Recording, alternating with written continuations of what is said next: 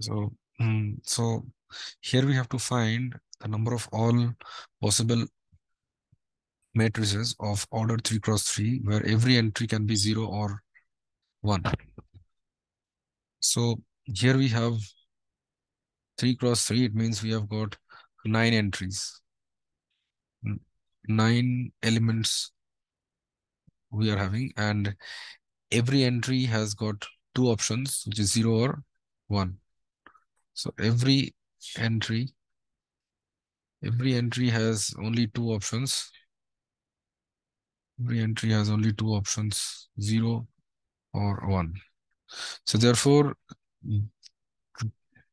the number of all possible matrices will be therefore the number of all possible matrices the number of all possible matrices will be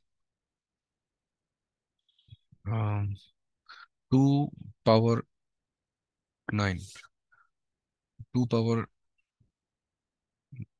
9 it will be 2 power 3 into 2 power 3 into 2 power 3 this so we can write 2 power 3 whole cube so that will be equal to 8 cube. So 8 cube is 64 into 8 that is 32 so 512 so 512 possible matrices can be made which is having only two possible entries 0 or 1 therefore option d is the correct answer.